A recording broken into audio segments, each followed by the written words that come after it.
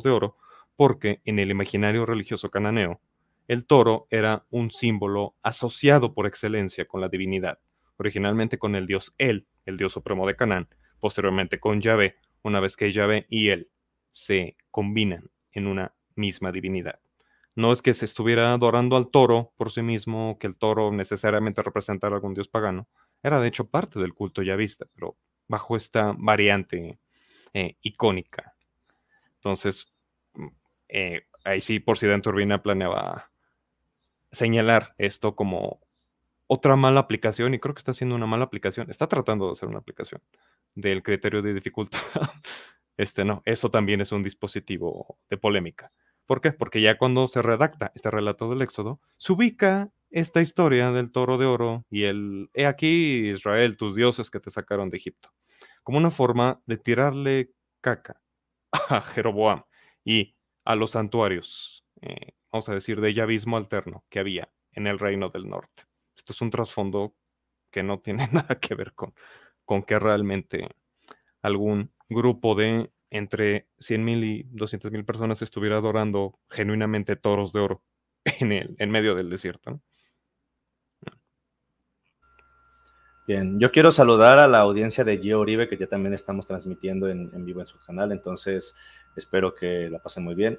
Ahora vamos a continuar con Dante Urbina y la exposición que tiene sobre la presunta historicidad del Éxodo. Si todo fuera un relato inventado, en principio en un contexto de culturas antiguas, cuando un pueblo inventa un relato sobre sí mismo, trata de inventar un relato que lo enorgullezca, que lo resalte. Piensa, por ejemplo, en cómo los relatos de los griegos resaltan a los griegos. Pues bien, Acá lo que tienes más bien es un relato que deja muy mal parado al propio pueblo que supuestamente estaría inventando ese relato, lo cual cuenta más bien como evidencia de que este relato podría no ser inventado. Para terminar la conferencia, cita de James Hofmeyer, egiptólogo, PhD por la Universidad de Toronto, que tiene un libro entero de la historicidad del Éxodo, titulado Israel in Egypt. Sí, solo una, una cosa, que se me acaba de ocurrir esto, pero acaba de decir, piensa en cómo los relatos de los griegos eh, resaltan a los griegos o los, dejan en buen lugar, algo, así ha dicho, ¿no? Y esto se me acaba de ocurrir ahora mismo. En la, la Odisea, bueno, la, Ilíada, perdón, de Homero, no los deja precisamente en buen lugar a los griegos, ¿no? Quiero decir, la Ilíada en principio plantea que los que vienen de Grecia no son mm, precisamente gente admirable los, los, los troyanos, que serían los que están en, hacia donde van los, eh, bueno, Aquiles y todos estos, sí que los plantean en, en, mejor luz. Pero bueno, esto como algo que, acaba de venirme, ¿no? Como que él plantea como que los, lo normal es que eh, lo que siempre vemos es que un pueblo se ensalza a sí mismo. No sé qué pensáis de esto, ¿eh? Es una cosa que me acaba de venir ahora a la mente. Yo no puedo plantear nada porque no conozco la mitología griega, entonces no puedo. Pero yo me imagino, yo me imagino que los griegos tendrán relatos que no hablen bien de ellos. sí. Que será así. Y es que cuando precisamente un pueblo tiene hechos por muy vergonzosos y negativos que sean en su historia, pero que ya están grabados a fuego en esa historia, que ya toda la gente sabe que acontecieron, o sea, no se puede tapar el sol con un dedo. La crucifixión de Jesús no se podía tapar con un dedo. México, por ejemplo, en su historiografía tan peculiar que tiene, o sea, jamás podrá ocultar que perdió una guerra contra Estados Unidos y perdió la mitad de su territorio. Podrán hacer crónicas donde se culpabiliza por completo a Estados Unidos de hacer una guerra de agresión, pero no se puede tapar el sol con un dedo, ¿no? Eh, en este caso, esto aplica a la cuestión de que en el pasado los israelitas habían adorado a muchos dioses de que jamás existió un monoteísmo en esta etapa temprana de Israel. Ellos, al igual que todas las demás personas de su contexto histórico, eran politeístas. Si acaso habrían eventualmente adoptado una, eh, un esquema enoteísta, en el que se alían específicamente con un dios bueno para tener este contrato de exclusividad y poder gozar de, de los favores de ese dios. Como dice el sociólogo de la religión, Rodney Stark, católico, por cierto, la religión a fin de cuentas es un mercado, es el mercado de bienes espirituales que se da entre los seres humanos y sus dioses. Eh, y el enoteísmo mismo, la idea de aliarte con un dios presupone un esquema mental politeísta. O sea, si es el único que existe, que para qué carajos este, este contrato de exclusividad con él. El enoteísmo solo tiene sentido sobre un esquema mental en el que existen muchos dioses. Insisto, y no habría que escandalizarnos por ello. O sea, era el zeitgeist de la humanidad de esa época. Problema obviamente viene para los apologetas como Dan Turbina, que por intereses confesionales tratan de defender a rajatabla la idea de que, ah, no, sí, ya, ya, eran monoteístas, pero se desviaban. Esa cosa. Claro. Gio, ¿quiere decir algo? Sí, bueno, eh, yo creo que acá hay un tema brutal de desconocimiento de los pueblos antiguos, sobre todo en estos pueblos que comienzan a alzarse, eh, digamos, desde lo que era la vivencia nómada hasta llegar a lo que fueron imperios. En este caso, por ejemplo, no se puede desconocer un, origen semítico de, y nómade de estos pueblos, por lo tanto tampoco es que este, esta leyenda eh, o este relato del Éxodo trate de alguna manera de exaltar mucho más de lo que sería posible dentro de la época que fue escrito Éxodo. En este caso, lo que se intenta hacer con Éxodo, de cierta forma, desde los lentes eh, o desde los ojos de del, escritor es tratar de intentar dar un, lenguaje fundacional a través del mito, de, eh, que sería el éxodo. El problema que yo vi en, bueno, no sé si lo habrán comentado, pero en el, en el video de Dante, que él creo que intenta hacer sonar la palabra mito como mentira cosa que en historia eh, se entiende que el mito es una forma, es un tipo de narrativa para poder entregar un cierto mensaje, tomando eh, ciertas cualidades, digamos, de la cosmogonía, cosmología que existían en aquella época. Entonces, no es una mentira, es una intención de comunicar algo, eh, pero de una manera ocupando, o sea, tomando ciertos digamos, conceptos que existían en la época para poder dar a entender hacia otra persona. Recordemos que en ese tiempo mm, el pueblo no podía acceder a, leer eh, el mito, en este caso, o el texto, sino que solamente escuchaban de lo que se hablaba, de lo que supuestamente decía el texto. En este caso, en el único lugar que se podía conservar este texto escrito eran con personas que supiesen, digamos, leer y escribir esto o interpretar estos textos. Eh, por lo tanto, no, no se puede, digamos, comenzar de esta manera tan eh, desorganizada como lo hace Don Turbina, y es precisamente porque Dante no conoce la metodología histórica. Y no sé si podría compartir algo, que es un archivo, no es de mi autoría, pero justamente lo encontré acá rápido, eh, para poder explicar un poco de qué se trata la metodología. Dame un momento a ver si puedo compartirlo desde acá. Bien, mientras tanto, quiero comentar algo rápido también, y es que no hemos tocado el tema de la autoría de los libros del Pentateuco, pero es de conocimiento popular que Dante Urbina sí cree que Moisés escribió Éxodo. Entonces también tenemos que entender eso. El, el, hebreo no existía en la edad de bronce. Es una lengua que surge en la edad de hierro. Para esto podríamos después llamar a Mario Murillo, que es filólogo, pero pues él me ha explicado muchas cosas. Este, ya tengo un video en mi canal también donde sale mucha información que él me proporcionó justamente. Y eh, tenemos... Dale, no, dale tú. En este vídeo ha, firmado la autoría mosaica Dante Urbina o, lo ha dejado? No, en otros. Ah, vale. En otros. Más atrás... Más atrás me parece que sí lo menciona, pero sí lo ha mencionado. Y vean el debate que tuvo con Jonathan Ramos. Está interesante porque ahí se pelean por esta clase de cosas precisamente. Dante Urbina, tanto Dante Urbina como Jonathan Ramos afirman la autoría mosaica, pero ah, Jonathan Ramos dice cosas respecto al politeísmo que le resultan problemáticas y chocantes a Dante Urbina. Supongo que afirman la autoría mosaica menos la, la parte del Pentateuco en la que se explica la muerte del propio Moisés, ¿no? Porque no lo escribió estando muerto eso. Y, de, hecho creo que hay gente que, que afirma la autoría mosaica, pero dice que esa, última parte la escribió otra persona, ¿no? Cuando, cuando en, no sé si es el libro de números. Que lo escribió Josué, creo. Que, dicen que lo escribió Josué y otros dicen que de cierta manera fue tanta la iluminación eh, que tuvo Moisés al escribir esto que escribió sobre su propia muerte. Ah, claro. hay personas que intentan hacer esto de cierta forma. Yo no sé si, ah, puedo manejar. Bueno, eh, quisiera eh, tratar de, ojo, esto no es mío y, es un curso de hermenéutica que encontré en Script. Eh, tengo membresía para que después no digan que también yo robo cosas, porque se ha, se ha hecho en algunos canales, pero voy, voy a ver, o sea, o se ha dicho en unos canales que algunas personas se intentan apropiar de cosas que no es correcto decir eso. Pero bueno, eh, vamos al método histórico crítico. La introducción, hay que entender las bases filosóficas del método eh, histórico crítico que se remontan a la ilustración. En dicha época se inició un proceso de partida del supuesto que solo es aceptable lo racional. En este caso, hay que aprender a apartar de cierta manera la teología con el método histórico crítico. Aquí hay un chico en los comentarios que he visto que está desde hace rato, Carlos Galeanos, que dice que no ah. sabemos de teología o que no sé o no sabemos interpretar las, las escrituras y todo eso. Bueno, es el amigo, es el amigo de Armandowski. Eh, es nuestra mascota de la experiencia TEA, brother que ya también, ojo, ya estuvo, me parece, Jololipa le hizo un video, pero no recuerdo con quién estuvo peleando. Sí, eh, con, Alberto, Alberto Pleguezuelos. Pleguezuelos, sí, sí, sí, es verdad. Sobre la evolución, defendiendo el, creacionismo, sí, sí.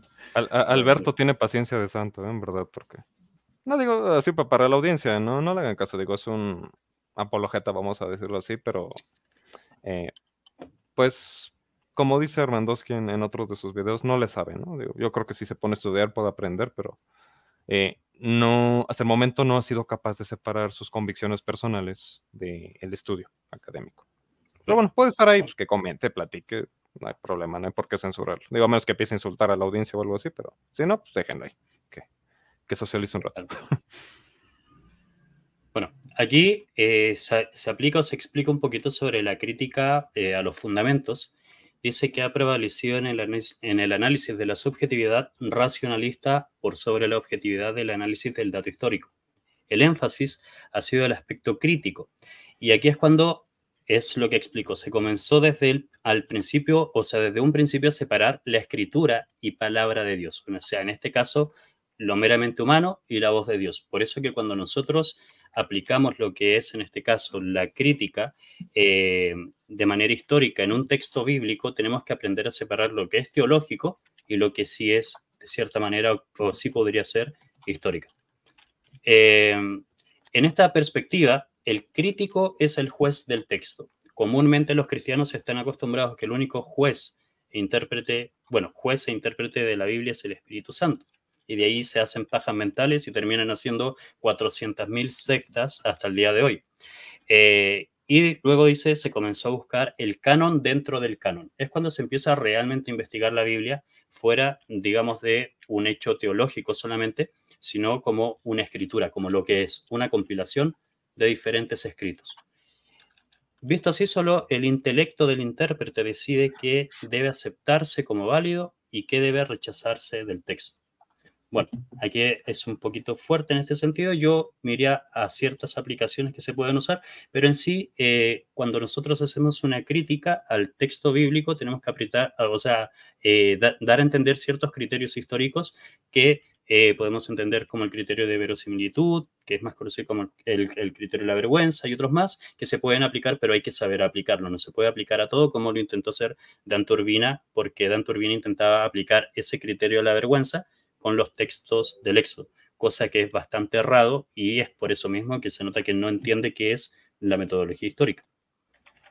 Eh, bueno, aquí hablan un poquito que esta perspectiva se convierte en el concepto totalmente contrario a la visión evangélica sobre la revelación. Claramente es súper contrario a lo que es algo por eh, revelación, por, por don del Espíritu Santo y todo lo demás, porque aquí se empieza a explicar directamente en cómo se hace esto, en cómo se investiga realmente. Em, bueno, la interpretación hegeliana del Nuevo Testamento, su pensamiento, pero creo ir al, al Antiguo Testamento. Bueno, aquí tenemos eh, Wellhausen con la, con la teoría documental, eh, que ya hoy en día no se tiene prevista una sola, sino que está la suplementaria y eh, la otra que es eh, que son porciones. Fragmentaria. fragmentaria, esa misma, muchas gracias.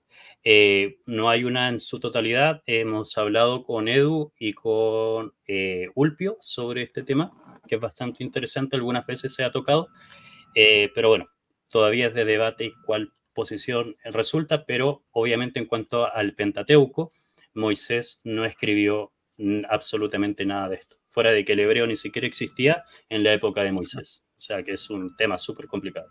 Oigan, yo quiero, mencionar nomás algo rápido. Ulpio es, es, otro historiador que hace mucho contenido en TikTok. Aquí en YouTube no, no, no he visto que lo inviten mucho, pero estaría bueno que luego lo invitáramos. Él estudió con Thomas Romer también. Entonces, mm. este, es, es, bastante interesante. Ahora sí, Nathan. Ah, iba a hacer un, un pequeño paréntesis con respecto a la hipótesis documentaria para la audiencia, que es la idea de que, uno, Moisés no escribió nada, Pentateuco, sino que el Pentateuco es una compilación de diversas fuentes recomendaría, y creo que Dragonard me secundará aquí, las obras del profesor Richard Elliot Friedman. Para los mexicanos, el, Teo González Pelón. Este, tiene una que se llama ¿Quién escribió la Biblia? Eh, presenta una versión actualizada, digo, para la década del 90, de la hipótesis documentaria. Digo, ahí para, que para quien tenga la posibilidad tenga un poquito más de trasfondo de esto. Pero en general me, me gustaría atajar algo que algunos apologetas que yo en lo personal me he encontrado suelen decir. Es que la hipótesis documentaria ya fue superada. Eh, sí, no. A ver, fue superada en el sentido de que el esquema que propuso Wellhausen, de cuatro fuentes, el oísta, sacerdotal, deuteronomista y la, otra, la, la llavista, eh, se quedó corto. Hay más de cuatro fuentes, ese es el punto. El proceso editorial fue mucho más complejo. Solo en ese sentido se puede decir que ya fue superada. Porque en serio, me ha tocado ver apologetas que a partir de esta idea de que ya se superó, lo toman como, una, como un boleto para ya regresar automáticamente a la autoría mosaica. Ah, ya se superó, entonces Moisés siempre sí lo escribió. No, el asunto es que Wellhausen se quedó corto. La idea que subyace, que es que el Pentateuco es un champurrado, una combinación de múltiples fuentes, eh, permanece. Esa no se ha desechado por sí se encuentran alguna apologeta que, les quiera sacar eso, estén preparados. Y ahora sí yo, perdón por la, Muchas gracias, Nathan. ¿Puedes volver a enseñar a Teo González? Que ojo, ojo, yo puedo presumir que en la intro de mis videos sale Teo González. Ahí sale conmigo, pero sí. A ver, Teo González. Ya necesito otra cámara, caray. Es Richard Elliot Friedman. les, les, dejo en el chat el, el título del libro, Who Wrote the Bible? ¿Quién escribió la Biblia? Insisto, es un libro eh, finales del siglo XX, mm, la década del 90, no, recuerdo ahora mismo el año. Obviamente ya ha habido, ya, ya llovió desde esa época, pero constituye un buen referente para tener una idea general de cómo fue este proceso de edición del Pentateuco. Te lo dejo en los tres chats, de hecho que aquí los tengo. Bien. Ok. A ver, vamos a volver al, esquema como lo tenía este, ¿cómo se llama? Guido. Eh, es este de aquí. Ahora sí. Ok. Bueno, aquí continuando más o menos lo que dijo eh, Nathan con el rechazo de la autoría eh, mosaica y lo que estuvimos hablando. Eh, o sea, se entiende desde la academia que Moisés no realizó el Pentateuco por muchos motivos. De partida, Moisés se entiende más como un personaje literario. no es que haya existido realmente. digamos, fue necesario un héroe para que ocurra una nacionalidad, digamos, dentro de este pueblo. También fue necesario un Abraham para que, eh, digamos, existiese una forma de entender como un nacimiento o algún punto de referencia para el nacimiento del, pueblo hebreo. Eh, pero como dice Thomas Romer en este librito, de que es Monoteísmo y Poder, mm. eh, digamos, fue mucho proceso y también lo dice Filkenstein en su, en su obra La Biblia desenterrada, yo creo que hablaron, porque ahí, ahí creo que, que observé que hablaron un poquito de eso. Eh, él habla, por ejemplo, que la historia de Abraham, la de Isaac y de Jacob estaban tres puntos distintos en su primera instancia y con el tiempo comenzaron a entretejerse para lograr hacer esta familia, digamos, de, de los hebreos. Eh, con el tiempo. Entonces es todo un tema que eran historias incluso separadas que con el tiempo se fueron entretejiendo y fueron logrando hacer la historia del pueblo hebreo. Pero bueno, continuando con esto, eh, la, la concepción en la tesis hegeliana de la evolución histórica logró marcar, digamos, este paso. En su pensamiento la religión israelita no es fruto de la revelación, sino de un desarrollo histórico similar al de otras religiones antiguas. Eh, también eh, Thomas Romer sostiene en, este libro que lo que era el pueblo y las historias del pueblo de Israel en su antigüedad no eran tan eh, diferentes a las de los otros pueblos que existían. Eh, como ya lo mencionaron acá mis compañeros, el pueblo de Israel era politeísta y después era más monólatra, o sea, pasó al, monolatrismo. ¿Qué pasa con, Judá después de un tiempo, después de que el imperio de Israel fue derrotado por el imperio asirio? Claramente, para Judá eso, digamos, trajo la centralización del culto. Y gracias a ello, digamos, Yahvé, siendo que había un Yahvé de Samaria, un Yahvé de Temán y un Yahvé de Jerusalén, quedó el Yahvé de Jerusalén. En este caso, eh, se, centra, se, centraliza el culto y se monopoliza la religión eh, de Israel. Entonces, eh, de ser algo no solamente politeísta con Yahvé, Asera y, los, y las otras deidades, sino que también el culto se monopoliza en un solo lugar, se centraliza y ya había un solo lugar, como lo dice Deuteronomio, si no recuerdo, creo que es ahí, en donde Yahvé uno es. O sea, el Yahvé de acá, de, de Jerusalén, es el Yahvé el único que existe. Ya no hay Yahvé de Temán ni Yahvé de Samaria.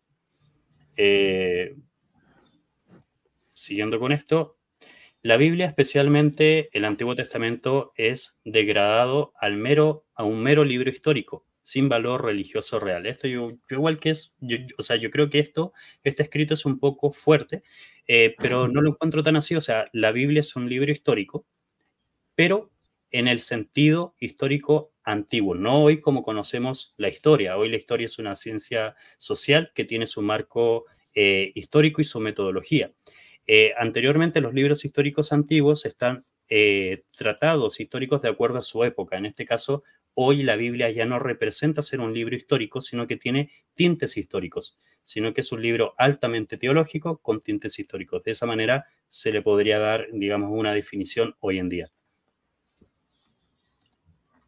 Y bueno, tres principios básicos filosóficos, analogías, aplican significados conocidos en el presente a hechos desconocidos del pasado, solo la experiencia presente es llave para entender el pasado, mm, eso lo encuentro un poco mal. Eh, si algo no se da en el presente, entonces es rechazado en el pasado. Esto yo no lo admito porque yo lo haría de otra forma, pero no es mi diapositiva, sino que la encontré ahí. Niega la intervención sobrenatural de Dios en la historia humana. De cierta manera, la historia no toca, por ejemplo, lo que son los hechos sobrenaturales. Por eso que no podemos decir que históricamente Jesús resucitó. Creo que Dan Turbina también tiene un video al respecto que habla de que Jesús históricamente resucitó. Eh, Santiago Alarcón, que es otro chico que hace acá muchas cosas también, él, se basa en los argumentos de William Lane Craig, que es un ah, eh, filósofo y apologista estadounidense. Eh, y la verdad, no. En la historia no podemos decir que Jesús resucitó o, o sí resucitó, sino que simplemente los hechos sobrenaturales no se tocan. O sea, no son parte de una metodología natural. Y eso. Y, sobre eso, sobre eso, perdón por la expresión, pero berrea mucho William Lane Craig. Es que tienen un sesgo materialista, güey, es que así es la metodología de la historia. Si acaso se puede hablar de que las personas creyeron que Jesús resucitó, lo que es muy, que es muy distinto a ser como el filo palomo y decir, no, la resurrección es un hecho histórico. No, güey, no lo es. estás, queriendo destornillar con una llave de cruz, güey. O sea, no está en la caja de herramientas de la historia. De, hecho, precisamente William Lane Craig se, basa en un argumento que él llama minimal facts, ¿no? Eh, los hechos mínimos, que se supone que parte de una serie de hechos que, según William Lane Craig, tienen un amplio consenso histórico. O sea, que, que, la mayor parte de historiadores está de acuerdo. Nunca me ha quedado claro si incluye, creo que sí, él incluye lo de la tumba vacía, incluye, pues, sí, ¿no? Incluye, pues incluye que Jesús existió, que fue crucificado, o sea, condenado y crucificado, y después que se encontró la tumba vacía y que después había gente diciendo que resucitó. Y esos son los hechos mínimos que según él acepta, eh, hay un amplio consenso académico y acepta la gran mayoría de historiadores. Pero después Saca la tumba vacía de la ecuación. Sí, hay que sacarla porque, por ejemplo, Bart Ehrman ya dice que él no acepta la tumba vacía y, mucho más curioso es que hay una eh, filósofa, pero que se ha hecho muy experta en el tema este de, la defensa de la resurrección, que se llama Lydia McGrew y que es cristiana. O sea, no estamos hablando de, de un ateo, sino que es cristiana. Y ella dice que este minimal facts eh, argument es eh, incorrecto porque dice que con los hechos, y esto lo hizo una cristiana, eh, es que me, gusta por eso, por citar a una persona que es cristiana, dice que con los hechos que realmente admite la gran mayoría de historiadores no se puede construir un buen argumento para la resurrección y que para construirlo hace falta tomar hechos que, en los que no hay consenso, no hay un amplio consenso académico. Y esto lo dice Lydia McGrew. Filósofa cristiano.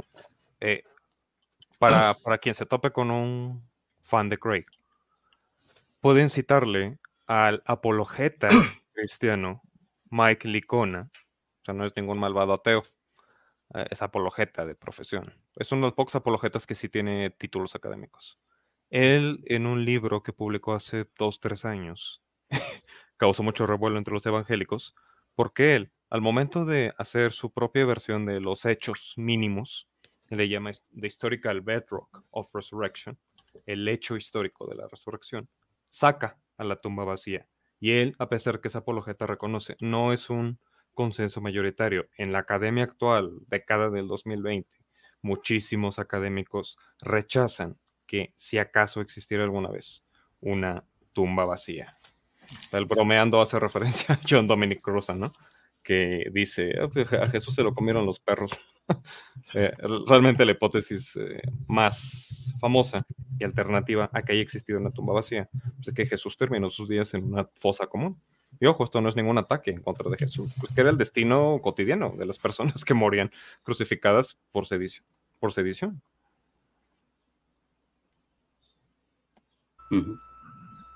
Excelente. Vamos eh, otra vez a la presentación de Gio. Déjame ver cómo se pone. Sí, ya, ya está terminando. Bueno, es más que nada el principio crítico que subordina la escritura a la razón humana. Acá dejamos de tener un sentido eh, teológico 100%, sino que eh, entendemos que la escritura es parte y nace, se desarrolla y se interpreta bajo la razón humana. O sea, no hay otra forma de entender algo escrito en el pasado no podemos dejar que algo escrito haya caído del cielo mágicamente o que solamente unos pocos y comúnmente los más ignorantes de, la humanidad, que son los religiosos fundamentalistas, solamente ellos puedan tener este conocimiento eh, que está en un lenguaje soto, o sea, no, no, o sea, no va. Eh, se basa en la duda sistemática de los historiadores a los hechos del pasado. El escepticismo se convierte en llave para llegar a la verdad, aquí es cuando se reconoce que la duda es la única manera de avanzar. O sea, gracias a que dudamos de ciertos textos, eh, podemos indagar, podemos cuestionar y podemos avanzar. El intérprete adquiere un rol fundamental. En este caso es lo que ya propuse, digamos, dentro de esta charla con la diapositiva. Así que eso, eso estaría dentro de esto, más que nada para ir aclarando el por qué Dan Turbina no, no tiene idea de, estos criterios ni de la manera en cómo se crea la historia. De hecho, me, gustaría citarle a Dan Turbina, bueno, si estuviera aquí, ¿no? Si, algún día me, excusa que no tenga títulos en historia y puedo intercambiar ideas con él. Eh, me gustaría citarle al propio William Lane Craig en su obra Reasonable Fate, Fe Razonable, no confundir con su sitio web que se llama igual. Tiene una obra que se llama Reasonable Fate, bases para una cosmovisión cristiana, fundamentos para una cosmovisión cristiana, perdón. Él hace una autocrítica muy padre al sector evangélico. Eh, Jonathan, bueno, al sector protestante en general, para incluir a un Jonathan Ramos, por ejemplo, que junto con Dan Turbina este, pretenden sostener la historicidad de, de Moisés y su autoría del Pentateuco. Craig señala que el sector protestante, muy en particular el evangélico, pero el protestante en general, se ha dado un balazo en el pie. Voy a parafrasear, no recuerdo el inglés exacto en el que está expresada su idea. Voy a citar de memoria. Él señala que se han dado un balazo en el pie. ¿Por qué? Porque en lugar de abrirse a los conocimientos proporcionados por la academia contemporánea acerca del proceso de composición, edición de la Biblia, más bien se han encerrado, y aquí su frase, en el closet del fundamentalismo. En lugar de abrirse como condenados avestruces, meten la cabeza en la arena y en vez de ponerse a estudiar estos temas de ciencias bíblicas, lo rechazan. No, eso es del diablo, eso te, va a hacer ateo, como decía Armandowski al inicio y todo eso. Entonces se quedan aislados en una burbuja. El pedo es cuando alguno de los fieles, de, los miembros de la Grey, de estas iglesias, se topa de repente con estos estudios y pues queda traumatizado, ¿no? Cuando no tendría que ser necesariamente así. El estudio de las ciencias bíblicas no te hace necesariamente ateo, con lo que sí es incompatible con el fundamentalismo, eso sí. Entonces, pues, eh, cristianos, si, hay ahí en, el auditorio, tomen a bien esta crítica, que, esta autocrítica que formula William Lane Craig. En uno de esos raros momentos de sobriedad intelectual que tiene, lo ha indicado muy apropiadamente. Ya. Excelente. Yo quiero, quiero decir algo que me están aquí pidiendo eh, antes de continuar. A ver, espérame, déjame pongo yo aquí. Ahora sí. Ah, mi imagen.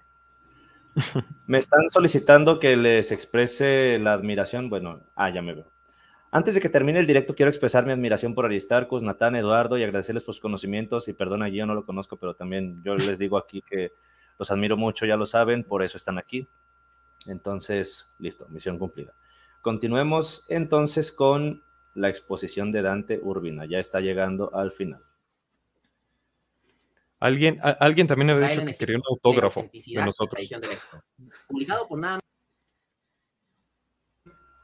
Si quieren autógrafos, fotos de patas y lo que sea, por, por Instagram, o no sé si quieren que les manden un correo electrónico, ya al final nos dirán por dónde se les puede contactar, pero sí.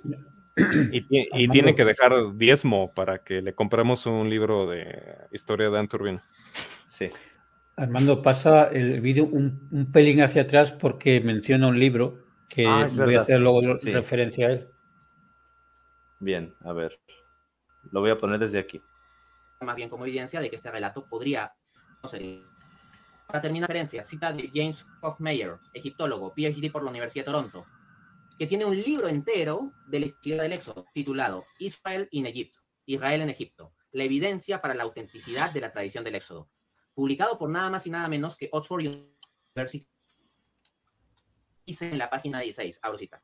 La capacidad de los escribas antiguos para registrar la historia no debe ser desdeñada con base a las nociones modernas de historiografía, o por la actual proclividad a dar dataciones tardías a las narrativas hebreas, partiendo del supuesto infundado de que los israelitas fueron incapaces de escribir historia. O sea, a veces los escépticos dicen, no, esto tiene que ser relatos inventados posteriores porque los israelitas en primera instancia son incapaces de, de escribir historia. No, eh, ciertamente eran capaces de escribir historia, pero a su modo. Y ese modo de escribir historia en el contexto de culturas antiguas es distinto al contexto de los historiadores modernos, pero no podemos imponerles ese estándar moderno a las culturas antiguas. Se llamaba historiografía polémica y retroactiva. de los escépticos. Ah, pero digo, se llamaba historiografía retroactiva, que es este ejercicio que diversos pueblos han hecho a lo largo de su historia. Eh, los hebreos no son, eh, no están solos en esta práctica que es la de pintar el pasado a la luz de los intereses ideológicos del presente, en el momento que se está redactando la historia. Insisto, no es un vicio histórico exclusivo de los hebreos. Me atrevo a decir que la gran mayoría de los pueblos de la historia caen en un momento u otro en este tipo de, ejercicios de reescribir su historia. Y en el caso de los documentos bíblicos, eh, aquí me llama mucho la atención el hecho de que Dante Urbina diga que conoce el método histórico, pero no está consciente de que ese método histórico, aquí siguiendo el esquema que proporciona el profesor australiano Tim O'Neill, eh, con su esquema de tres fases, heurística, crítica de fuentes y síntesis y exposición, implica precisamente aplicarle un análisis crítico a todos y cada uno de los documentos históricos. No es que se tenga algo en contra de la Biblia, es que precisamente porque se le está tomando en serio, se le está dando el beneficio de la duda, que se le analiza críticamente. Eh, el problema es que los apologetas quieren darle este, tratamiento preferencial a la Biblia. De no, pues es que lo que está diciendo así tal cual eh, es exacto. Los escritores de la Biblia son la excepción en la naturaleza humana y no tenían sesgos, no tenían polémicas, no tenían intereses ideológicos que estuvieran nublando su, visión. No, son, son especiales. Son antinaturales por naturaleza. Usando cierta frase irónica que circula por ahí. Ya, sería, sería eso. Excelente. Oigan, quiero nomás contestar a alguien en los comentarios que dice, no olvidéis que según National Geographic apenas se ha excavado el 1% en Egipto y que se estima que la casi totalidad de los papiros se han destruido con el tiempo. Llegaste tarde al directo. Ahorita que terminemos lo escuchas en diferido. Eso lo mencionamos casi al principio. Em, no sé si, si comenta algo más del libro de Hofmeier. Si quieres lo dejo correr y ahorita este me dices si lo Bien. A ver, voy a continuar entonces. Respecto a que la Biblia sería un mito, son acusaciones que se basan en muchos supuestos que no están bien comprobados. Así que a los escépticos les falta ser escépticos respecto de su propio escepticismo. Muchas gracias. atento. Ah, ya se acabó. Ahí están las redes de Dante Urbina para que vayan y lo sigan, si es que les gusta la apologética. Espérame, güey, lo, para que vayan, Para que vayan y le manden el video por interno en todos los canales. Sí. Para que lo vea. Vale, quería comentar algo sobre el, libro de Hofmeier. Eh, no lo he leído completo, he hecho un, un, vistazo, pero bueno. Aquí dice que bueno, el argumento de Hofmeier eh, relacionado con la conquista de Canaán, porque el éxodo mm, evidentemente lo tienes que conectar luego a la conquista. Mm. Es como una historia eh, completa, ¿no? Ahí dice que mm, el libro de Josué solo reporta tres eh, ciudades que fueron destruidas por fuego: eh, Jericó, la ciudad de Ahí y Hazor. Y luego comenta en otro sitio Dice, al igual que Dever, Dever es un arqueólogo y Redford, que es, creo que es egiptólogo, si no recuerdo mal. Al igual que Dever y Redford, recientemente ha caricaturizado las narrativas de Josué diciendo, las ciudades con fortificaciones masivas caen fácilmente en manos de, nómadas rústicos provenientes del desierto. Es decir, se están burlando ¿no? de, de, relato como que había ciudades fortificadas y llegan unos, unos seminómadas y, conquistan las ciudades, ¿no? Y describe la conquista como una aniquilación vertiginosa. Al revisar el trabajo de Rockford Kitchen, que es un, eh, egiptólogo apologeta, responde diciendo que es superficial al tratar con los datos bíblicos y continúa señalando que Josué no describe una destrucción generalizada de la tierra. Más bien, como admite Josué, todavía hay mucha tierra que no estaba en manos de los israelitas y procede a delinear esas, esas áreas. Vale, entonces aquí se quiere dar a entender eh, que el relato, el, relato, de Josué no narra que haya conquistado toda Canaán y por lo tanto esto que de lo que se burlan Deber y Redford pues no tiene sentido. El problema es que eh, el libro de Josué narra la, la, destrucción por fuego de Jericó, de la ciudad de Ahí y de Hazor. pues ahora vamos a ver el, libro 50 eh, Major Cities of the Bible, 50 ciudades mayores de, de, la Biblia, ¿no? Y ahí, te dan, ahí se te dan datos. Por ejemplo, la ciudad de ahí fue destruida en el 2400 de antes la era común, 2400. Eh, Hazor eh, coincidiría con la con la época bíblica, eh, sería el, el, mm, ¿cómo se dice? El 13th century before, el, el, siglo XIII antes de, la era común. ¿Vale? Es decir, ahí en el 2400, Hazor en el 1400 más o menos. Y luego tenemos a Jericó, que fue destruida en el 1550. Es decir, tenemos eh, da igual lo que eh, diga, el libro de Josué. Josué no vivió siglos y la ciudad de ahí fue destruida antes de que Josué entrara en Canaán. Entonces, el libro este que menciona eh, este, Dante Urbina, pues es un libro apologeta, ¿no? no tiene sentido lo que se dice. Si estás diciendo que el, libro de, Josué menciona tres ciudades destruidas y resulta que los, los, los, en las pruebas arqueológicas te demuestran que entre la destrucción de una ciudad, 2400, y Hazor, 1400, hay mil años de diferencia, ¿cómo cojones Josué pudo haber conquistado esas ciudades? No sé si se entiende la idea. Viajó en el tiempo. Un agujero de gusano, chinga. Ok.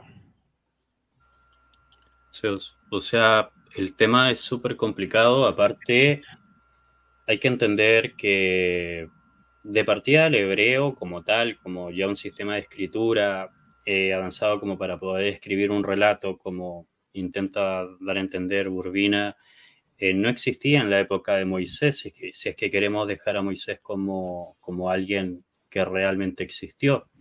Estamos hablando que esto se da en el periodo nuevo de Egipto, eso es entre el 1550 y, el 1000 antes de Cristo aproximadamente, o antes de la era común.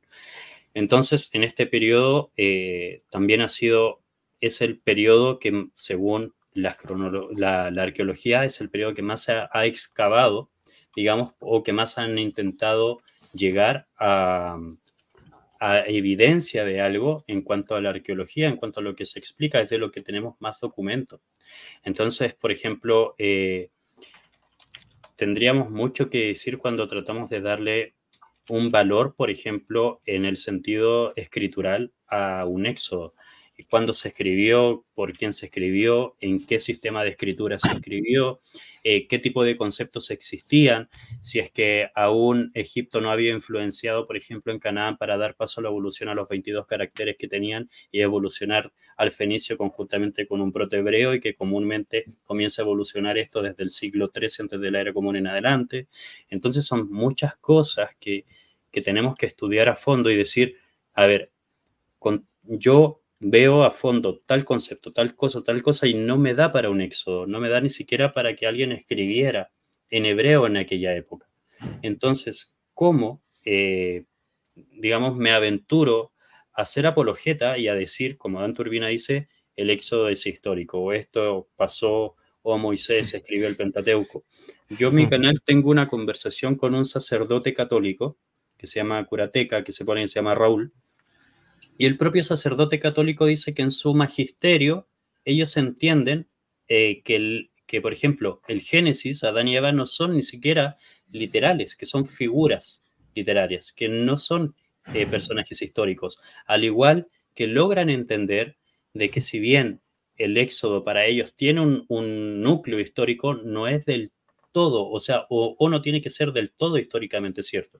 Entonces, eh, si, una persona como un sacerdote que estudia por lo menos siete años teología en seminarios, te está explicando de cómo piensa la Iglesia Católica y salga una apologeta de otro lado con un canal de YouTube diciéndote que estos personajes son históricos, o sea, ¿a quién le creo más? ¿Al que estudia o al que tiene audiencia en YouTube?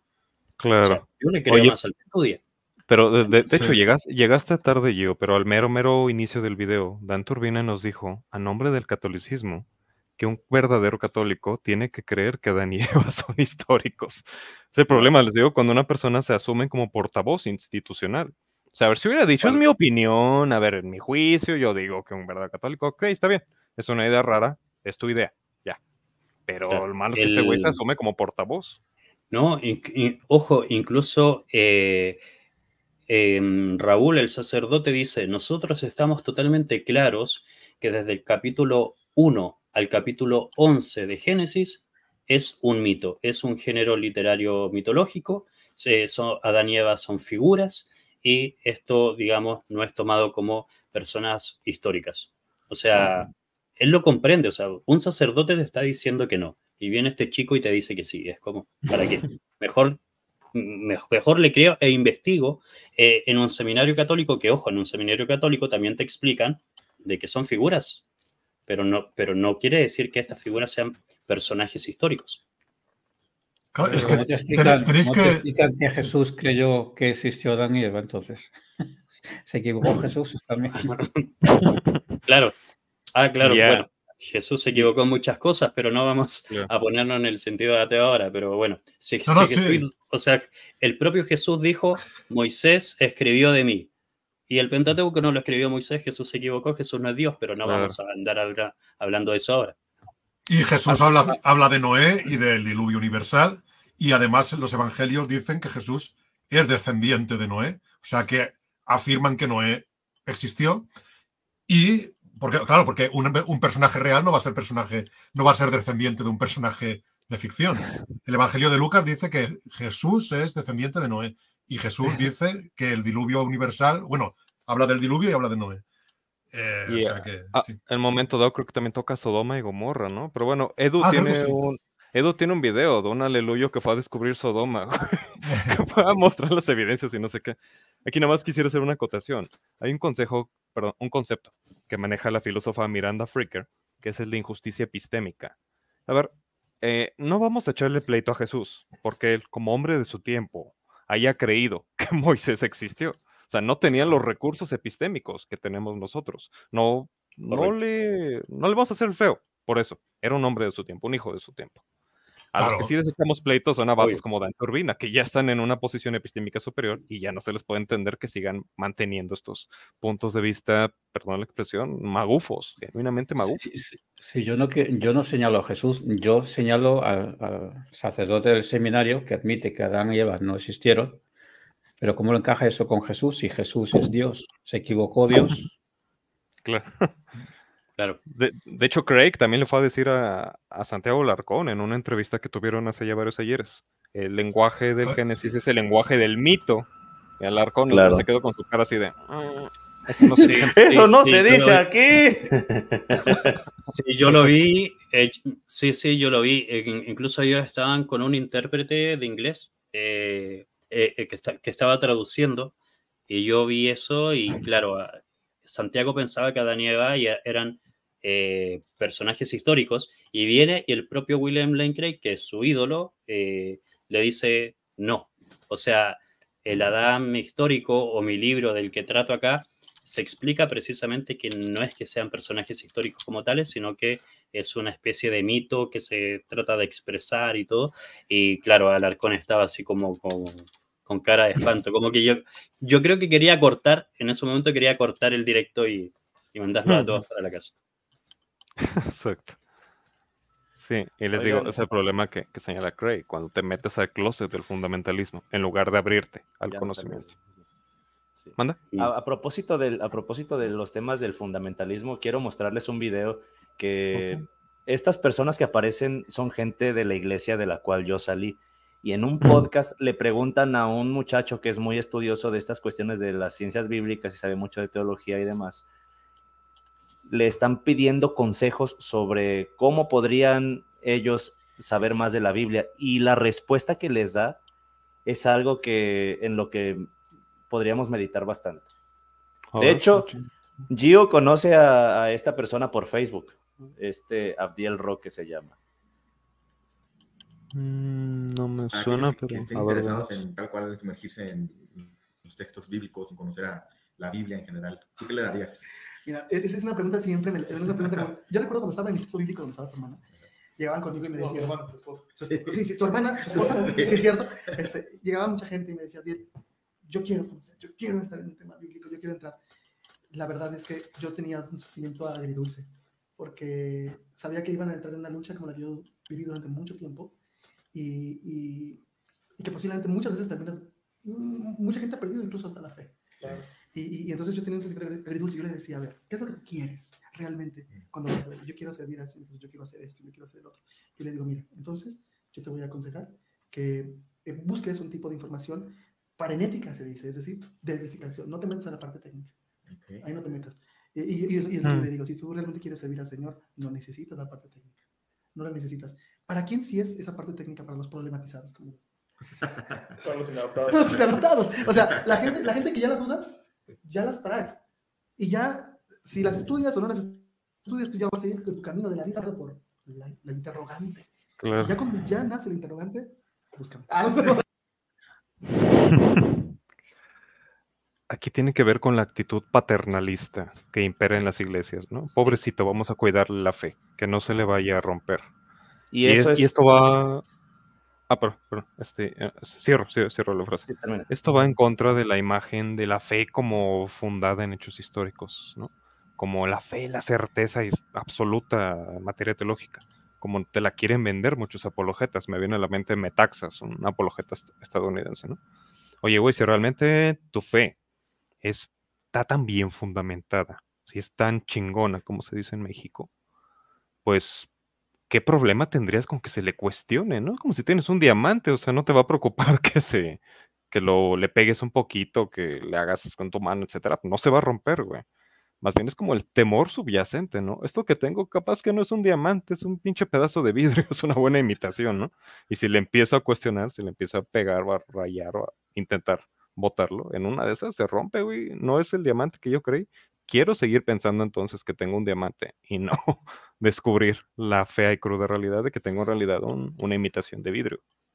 Pues es, es mucho paternalismo esto de, no, pues no te metas a la parte técnica Sé, un un tonto útil para la causa. Es una frase fuerte, pero creo que es triste. Pero aquí, aquí está la parte, él es sacerdote, él es Raúl. Mm. Ahí aparece con el que estuve hablando. Ahí, él es sacerdote y voy a reproducir la parte de él, ¿ok? Para que lo escuchen a ver si, si se da. ¿Cómo se interpretan estas historias, eh, las diferentes tradiciones? ¿Son literales, simbólicas o una mezcla de ambas?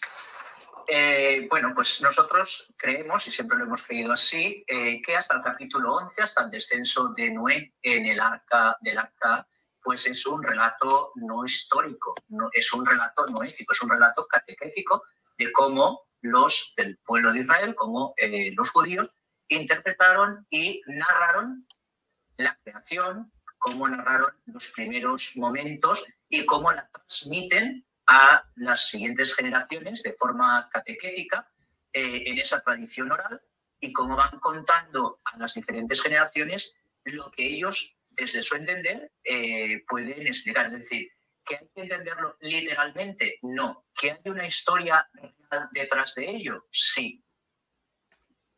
Esa es la, interpretación que tiene el, el sacerdote católico, por ejemplo, de este tema. O sea, la interpretación real puede ser que tenga su explicación dentro de Marcos si se hubiese explayado más, pero en sí, en, tonos más simples, él, acepta y te explica que por lo menos del 1 al 11 es tomado como un relato catequético, como que es algo eh, teológico, que no es algo histórico. Medio enredado, pero lo dijo. a mí me parece muy bien lo que dice este sacerdote eh, aunque, claro, ¿qué pasa en el caso de Dante Urbina? Que es que, aunque aquí no lo hemos visto de, manera muy moderada, o sea, lo que está diciendo aquí con el Éxodo es muy moderado en comparación con lo que es capaz de decir Dante Urbina sobre la Biblia, es decir, con, en comparación con las afirmaciones absolutamente ridículas, absolutamente absurdas que es capaz de, de decir sobre la Biblia. Lo que sucede con Dante Urbina es que él quiere afirmar que los que escribían la Biblia sabían montones de cosas, porque estaban siendo inspirados por Dios, evidentemente, e incluso si, si alega que haya cierta, no sé, que, sea eh, metafórico hasta cierto punto o que no sea totalmente literal, él lo que afirma es que hay un conocimiento superior en quienes escriben la Biblia. Y esto, ya sé que siempre hacemos la misma broma con Armandowski, porque es que nos encanta ese momento de, de Dante Urbina. Dante Urbina llega a decir, y Armador ya sabe a lo que me voy a referir, eh, llega a decir que en el Génesis, que el Génesis está, está hablando de las cianobacterias, está hablando, o sea, que el primer libro del el primer capítulo del Génesis está hablando de información sobre la vida prehistórica en el, no sé, supongo, en el Paleozoico, o sea, antes de los dinosaurios, y que, cuando habla de árboles, el primer capítulo del Génesis, está hablando de cianobacterias. Esto yo siempre me quedaré con esto porque es lo que mejor simboliza el pensamiento de Dante Urbina. Él cree que hay un, conocimiento superior ahí y que los que escribían eso sabían cosas de, eh, de antes de los dinosaurios. Y lo dice literalmente. Claramente dice que habla de, la vida de, la tierra prehistórica. O sea, que tenía información científica superior los que escribieron la Biblia. El, Génesis, concretamente. Eh, Aristarcus, ¿qué opinaría Enric, adictos a la filosofía de esta clase de tarugadas de que la Biblia, la ciencia, la, la, Biblia predijo, perdón, explicó que la Tierra es redonda, como ah, dice Ángel Rodríguez. Otro. Sí, de hecho me da curiosidad también. Enric, yo he hablado con él eh, varias veces de este tema y de los que he conocido, tal vez porque también es católico, pero es más, bueno, claro, Dante es católico, o sea, no sé por qué tiene esas tendencias tan, tan propias de los protestantes, ¿no? Pero, pero Enric es de los mm, cristianos que conozco que más moderado es y que menos tiende, o sea, él incluso tuvo una conversación, si no recuerdo mal, con Santiago Larcón, en el que él decía que, que es muy peligroso y es un arma de doble filo esto de afirmar que haya cualquier tipo de conocimiento científico en la Biblia. Y tiene toda la razón. O sea, es lo que menos le conviene a un cristiano. O sea, hay cristianos que, cuando ven cualquier tontería, como que en eh, Isaías 40, 22 se dice que se habla del círculo de la tierra y se les ocurre decir, mira, ¿Ves cómo hay información científica en la Biblia? Que Isaías ya sabía que la Tierra era redonda, con, aunque está hablando de un círculo, que un círculo no es una esfera, pero da igual. Una tortilla. Sí, una, tortilla. una tortilla es un círculo, ¿no? Pero ves cómo hay información científica y te dicen estas tonterías que ya hemos hablado muchas veces con Dragonar, ¿no? Eh, lo de la Tierra sostenida sobre la nada de Job, eh, flotando en el espacio y todo eso. Y digo, pero a ver, es que incluso, incluso aunque acertase en algo la Biblia, que, no lo, que, a mí no me han mostrado tampoco nunca una información científica relevante en la que acierte, pero bueno, aunque acertase en algo, ¿tú crees que te conviene ir diciendo que, que la prueba de la inspiración divina está en los aciertos científicos de la Biblia? Porque después, evidentemente, si tú vas con, si, vas, por ese camino, evidentemente le das toda, eh, o sea, le pones en bandeja al, al escéptico que te diga, oye, pues vale, vamos a ver si, si lo que dice la Biblia encaja con la ciencia. Vamos a leer el Génesis eh, capítulo 1, vamos a leer el eh, Génesis capítulo 6, a ver hasta qué punto encaja con lo que la ciencia ha descubierto. Pero aquí, ojo, es como, como bien se dijo hace unos momentos, un arma de doble filo. Y a ver si los cristianos lo siguen empleando, las estrategias tipo Ángel Rodríguez, ¿no? ¿Sabía usted que, que Isaías dice que la Tierra es redonda? Ah, que vi ese video que pusiste de Ángel y me traumé, güey. Perdí 10 puntos de de hecho. Se me, se, me, se me, quemó el certificado de primera, güey. Este, es que si lo siguen utilizando, es que les funciona. Y esto es algo muy triste porque nos habla del poco pensamiento crítico que impera en el ser humano en general, en las sociedades. Este, si lo usan es porque funciona, güey. Entonces, es un arma de doble filo, porque a la vez reclutan a las personas con poco pensamiento crítico, quienes se dejan impactar por esto, ¿no? ¡Ah, wow! Isaías sí dice que la Tierra es redonda.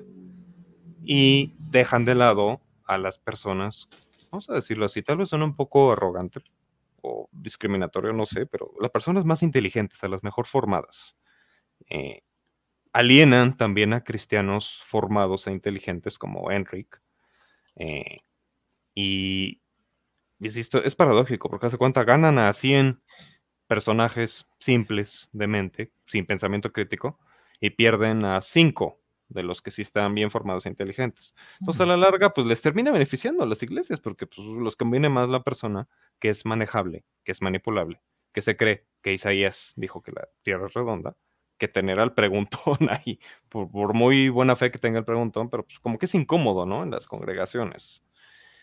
Entonces es, un arma de doble filo. Me acuerdo, y ya con esto cierro.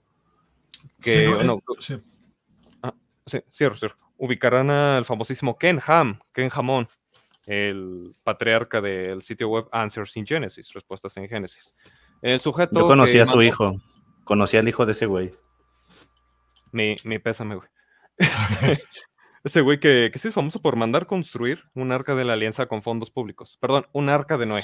De Noé, la réplica del arca de Noé, que luego se le inundó en una lluvia. Está todo decayéndose. Pero bueno, ese güey hace poco se peleó con un conservador ultra religioso de Estados Unidos que se llama Matt Walsh. Que es un católico. También. Ah, sí, sí, lo Pero da la casualidad que Matt Walsh no es un magufo, no es como Dan Turbina. Matt Walsh te acepta sin ningún problema que el Génesis maneja el lenguaje del mito y que no hay que interpretarlo literalmente. Bueno, pues ahí están peleándose sobre esta cuestión. O sea, y Walsh, que es súper conservador y súper religioso, con todo, pues es una persona inteligente y preparada, no es cualquier pelagatos. Y a él mismo lo terminó alienando Ken Ham con esta agenda de no, güey, todo es literal, todo es literal, todo es literal. Dios, doble filo, doble filo. A ver, es que eh, hay una cosa que también quiero decir eh, y que es quizá un poco polémico para algunos, pero eh, yo creo que si bien es, es, cierto que interpretar la Biblia literalmente es absurdo, porque se ha demostrado que ya mucho de lo que dice no es verdad en el sentido literal, y también, si bien yo celebro y, me alegro de que haya muchos cristianos que no la toman literalmente y que por, no tomarla literalmente están abiertos a todo lo que se descubra, eh, lo que descubre la ciencia, ya sea la geología, la eh, paleontología, la arqueología y todo aquello que están totalmente abiertos a todos estos descubrimientos científicos. Mm, debo decir, a pesar de todo ello, que, a ver, mm, hay una trampa que a mí me molesta un poco en, algunos apologetas cristianos que no son literalistas, que es lo de saltar rápidamente a decir que cierta cosa es metafórica o que cierta cosa eh, no pretende en el texto ser literal, simplemente porque sí, sin, sin tener, o sea, simplemente porque saben que realmente no sucedió. Yo creo que eso es tramposo. No sé qué opináis vosotros sobre eso. es decir, si hay un texto diciendo hace años sucedió tal cosa, vale, yo en principio entiendo que por lo general, hay veces que puede negarse, pero por lo general entiendo que el texto está diciendo que hace años sucedió tal cosa. Eh, cuando un apologeta no literalista me dice, no, es que esto, bueno, ahora que, ahora que se ha demostrado que realmente no sucedió, se me ha ocurrido que realmente es una metáfora, que la intención del autor del texto era escribir una metáfora. Y digo, a ver, un momento, ¿tú cómo lo sabes? O sea, solo porque se ha falseado que sucediera, ahora te inventas que el autor del texto estaba haciendo una metáfora. No, a lo mejor el, el autor del texto estaba escribiendo lo que realmente pensaba que sucedió y se equivocó. Y no digo que tenga por qué ser así siempre, ¿eh? pero digo que en todo caso tienen que argumentar por qué es una metáfora. Y muchas veces simplemente dicen que algo es metafórico o que algo no quiere ser literal, simplemente porque, porque saben que se ha demostrado que es falso. No sé qué opináis vosotros de, esta cuestión.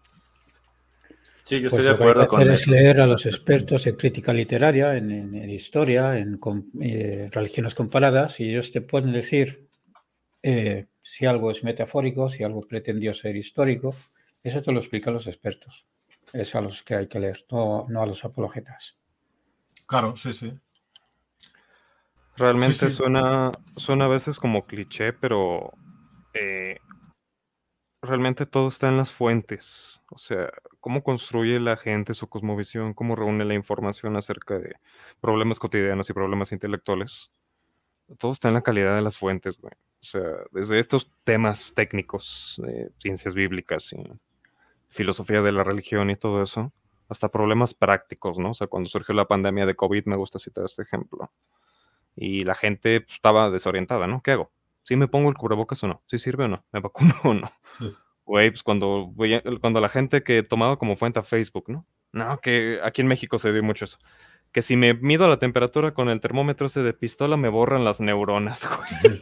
se corrió ese bulo o que te querían quitar, que si te vacunabas, ibas al hospital, perdón, que si ibas al hospital, ahí te metían el virus, que a la vez se sostenía que no existía, y te quitaban el líquido de las rodillas. Entonces, y le preguntas a la gente, ¿cuál es tu fuente? Lo vi en Facebook, lo leí en Twitter. O sea, güey, no, no necesitas irte a comprar un libro de medicina de esos tabicotes, ¿no? O sea, hay farmacias que proporcionan servicios de asesoría médica gratuita. Aquí en México, las famosísimas CIMI, las farmacias del ahorro. CIMI te cobran creo que 30 pesos por, la consulta, ¿no?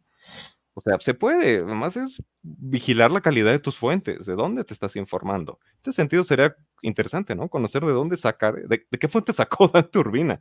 Todas estas ideas tan curiosas que tiene, que, las cianobacterias en Génesis. Sí, sí, sí.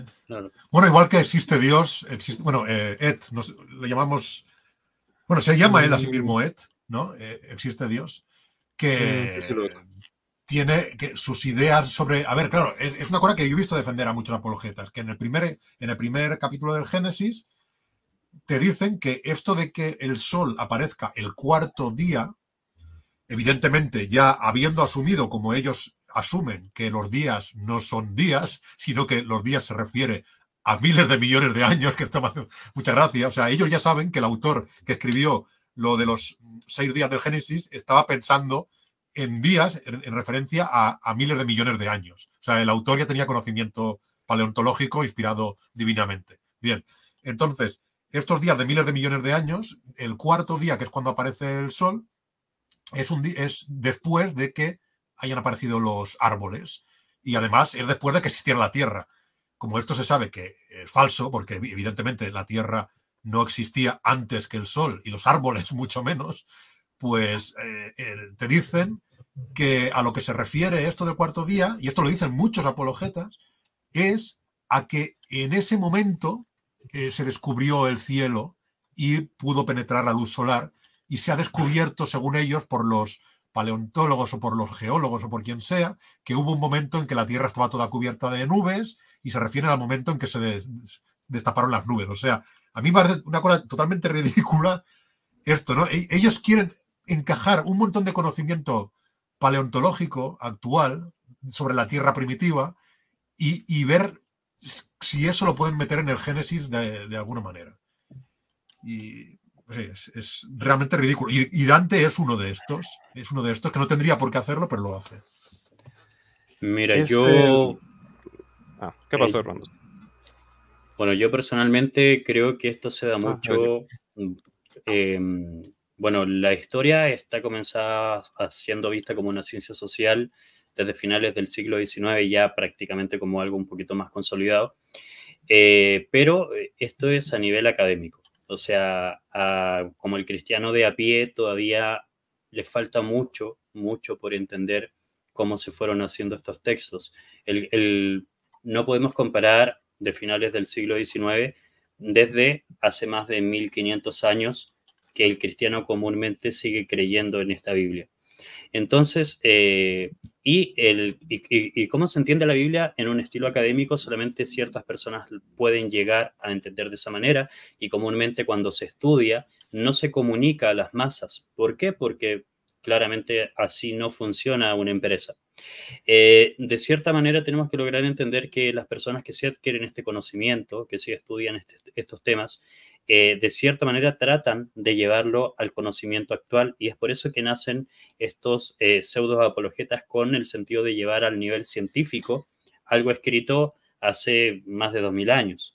Eh, entonces, pero si en realidad, en vez de ser apologetas, realmente se dedicaran a estudiar el método histórico, realmente llegarían a la misma conclusión que los académicos que sí estudian y dejarían, digamos, de estar defendiendo a priori los textos eh, del Antiguo Testamento, en este caso, eh, con, con, sus ideas y tratar de todo, o sea, que todo vaya de la mano.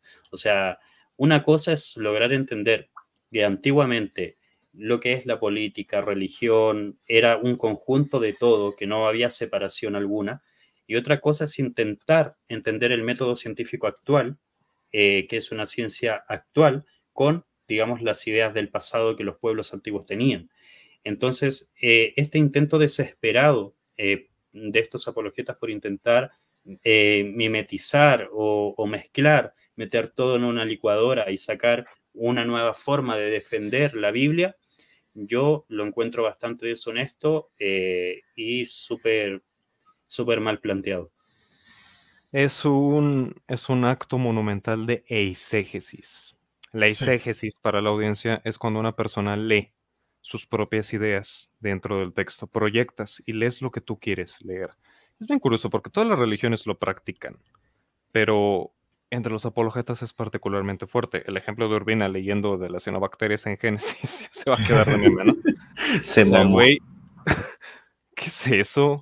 A ver, y aquí creo que es útil y pedagógico para cuando... O el filopalomo diciendo que son los hongos, brother. Eso es lo que una vez contestó también. Ah, sí. Hongos de los que se comió de chiquito el vato. Les voy a, voy a buscar el video. Si todavía lo tiene, se los voy a mandar. Va, va, va. Y, les digo que, una estrategia pedagógica que se pueda aplicar con creyentes cuando interactúan con ellos uno a uno, negociando lo respetuoso todo, es eh, que desplanten un acto de exégesis de otra religión. Dile a un cristiano, por ejemplo, que, estas profecías que según Jesús pronunció respecto al consolador, al paráclito, están refiriendo a Mahoma y no al Espíritu Santo, o Muhammad, para que no se despinen ahí. O sea, pero es lo mismo ese exégesis. El musulmán quiere, cree a priori y quiere sostener su creencia de que Muhammad había sido profetizado en el Injil o Evangelios. Va a leer eso, va a proyectar su creencia en el texto. Eh, en el caso judío, por ejemplo, cuando surgió esta cosa llamada la Cábala, una forma de mística en la Edad Media, surgieron muchas ideas teológicamente muy heterodoxas, que igual se basaban en exégesis de los textos bíblicos. A los cabalistas de los tiempos del Bajir, que es como una pequeña Biblia mística, vamos a decirlo así, eh, hicieron circular la idea de que el mal era un atributo divino, de que el mal no era esta carencia del bien, casi como el frío, ¿no? la oscuridad, que son la ausencia respectivamente de calor y de, luz. No decían, el mal es una midá, un atributo de Dios, el mal tiene una raíz ontológica en Dios. A ver qué creyente te va a aceptar eso hoy en día, ¿no? Pero ellos recurrían a pasajes como Isaías. Ah, hay uno en Isaías, no recuerdo la cita exacta, pero donde Yahvé dice, yo Yahvé que crío el bien y crío el mal, que formo la luz y crío las tinieblas. Yo Yahvé que hago todo eso. Ah, pues proyectaban esta idea que tenían, teología muy heterodoxa. Ah, mira, aquí lo está diciendo el texto. Aquí tenemos nuestro fundamento. O hacían ejercicios de gematría súper intricados. Parecía, mira, esta palabra vale tanto, se relaciona con la otra, entonces interpretamos que eh, Génesis nos está diciendo que el Dios infinito, Ein Sof, como le llaman los cabalistas, es uno, y el creador de Génesis es un demiurgo menor, que le llaman el Yoser Bereshit. Otros decían que el creador de Génesis era un querubín, uno de estos angelotes quiméricos grandotes. Igual, haciendo exégesis, o sea, cuando, cuando tienes la licencia de hacer exégesis, pues interpretar lo que tú gustes de los textos sagrados, en contraposición a procurar hacer un análisis histórico-crítico, contextualizando los libros con respecto a sus autores, a su época y a su cultura, saber qué es lo que me está queriendo decir el autor originalmente, o a quién está hablando, quién es su auditorio, ¿no? Dice el Tiliches Teológicos, ¿no? Eh, que, somos boyeristas, muchos cristianos y muchos contemporáneos somos boyeristas, estamos leyendo las cartas que pues, un tipo Pablo le escribió a comunidades de su época, no eran para nosotros, eran para otras personas. No, no estamos contextualizando cada, eh, el contenido de cada libro bíblico. De cada texto. Edu. Eh, Armando, son las 3 de la madrugada aquí en España. Sí, de hecho, es lo que les iba a decir. Que sí. Ah, lo que les iba a decir que si ya vamos cerrando, pues, o sea, porque también ya van a ser tres horas de directo. Eh, antes que nada, quiero agradecer enormemente por su asistencia, tanto a los panelistas como a la audiencia. Esperamos que hayan disfrutado esto. Ha sido algo bastante entretenido.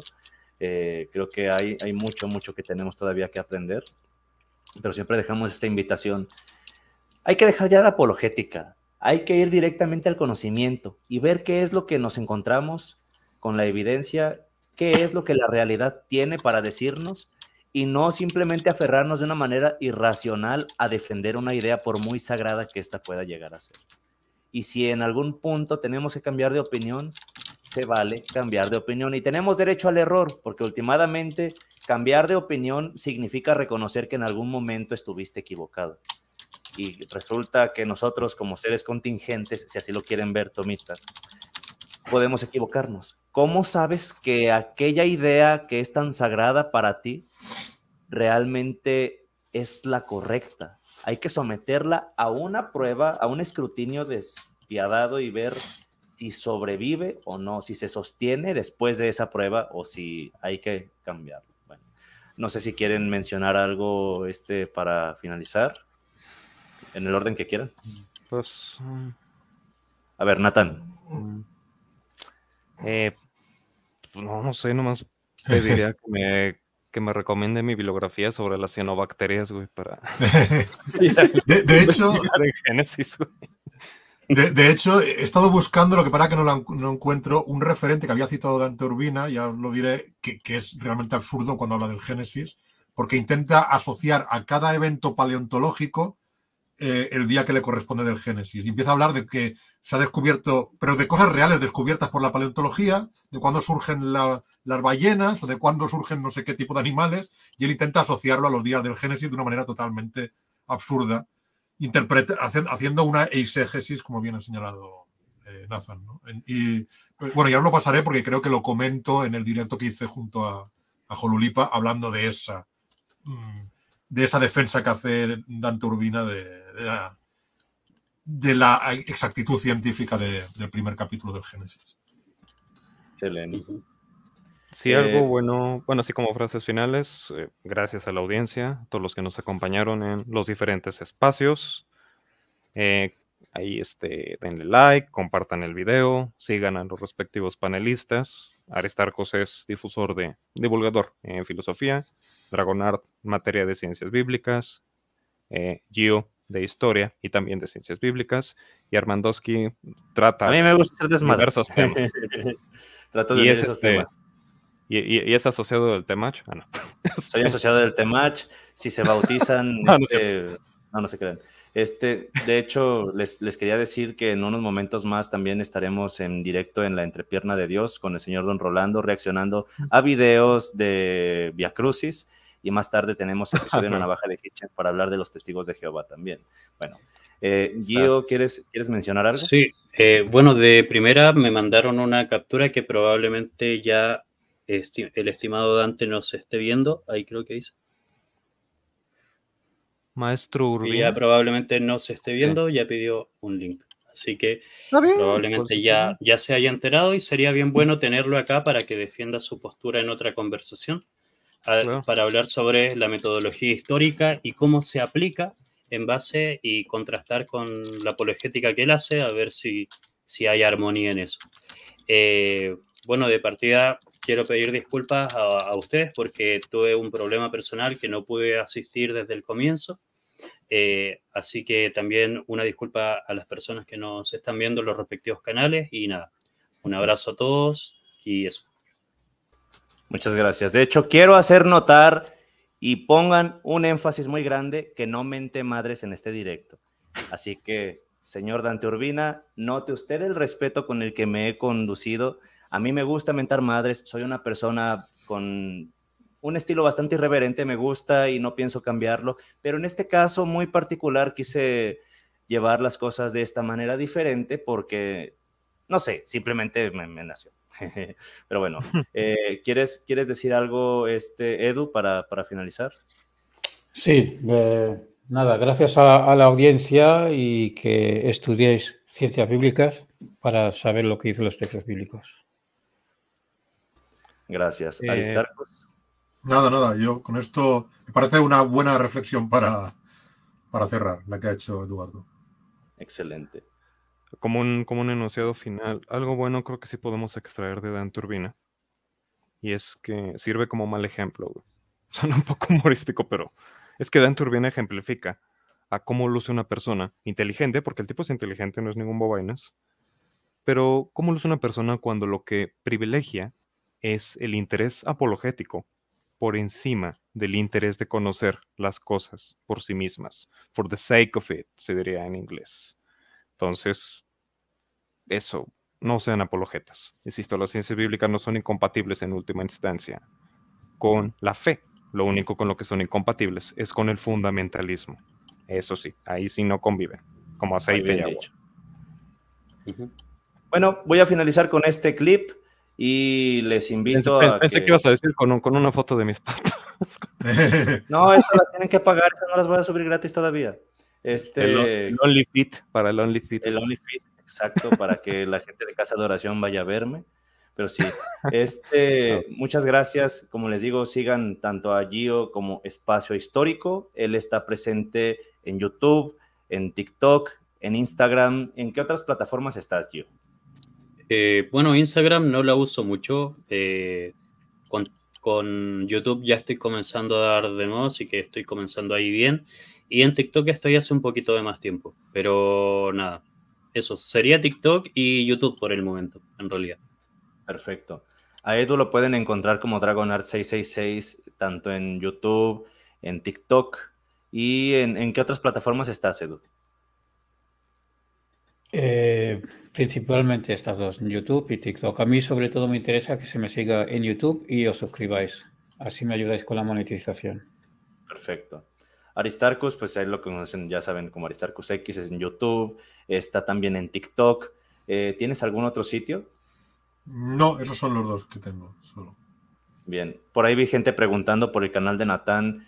Tiene un canal en YouTube, pero no tiene videos. Eh, ya le hemos insistido muchas veces que estaría muy bueno que se abriera también el suyo, para que luego nos invite. Soy, soy, un fantasma. Ah, ando, ando compartiendo en diversos espacios. Por el momento, por cuestiones eh, laborales y de tiempo, no me puedo echar la responsabilidad de, tener un canal propio, pero pues me pueden encontrar en, diversos espacios. Ahí búsquenle, me muevo en la, en la bibliosfera. Perdona los de la mano, pero ya, ya, ya les adopté el término. Para bibliosfera.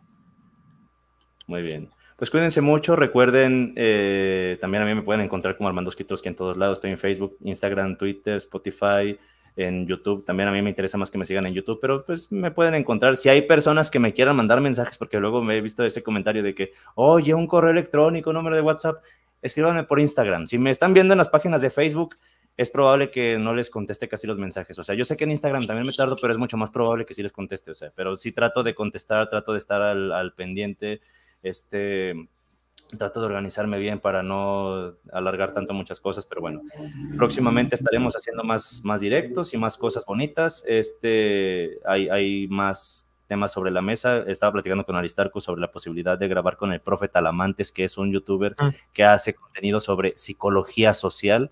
Entonces ya estaremos anunciando en caso de que se haga, si no por ahí tenemos más temas que estarían padres, con Natán también, con Edu, con Gio y con más personas que podemos ir invitando. Bueno, cuídense mucho y recuerden no ser apologetas. Nuestra fe está vinculada a la historia. Siempre y cuando no se contradigan puntos centrales de fe católica.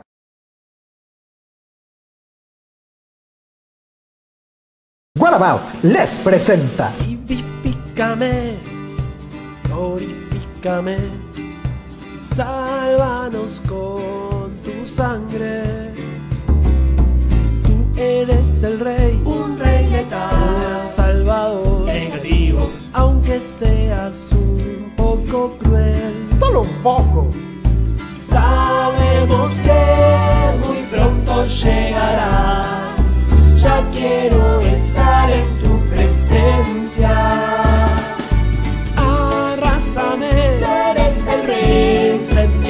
gloria a ti. Mándanos tus plagas y diluvio, aunque me muera, golpéame. ¿Qué importa? Aniquilame. ¿Qué más da? Haz que llueva fuego desde el cielo. ¡Aleluya! Sabemos que muy pronto llegarás.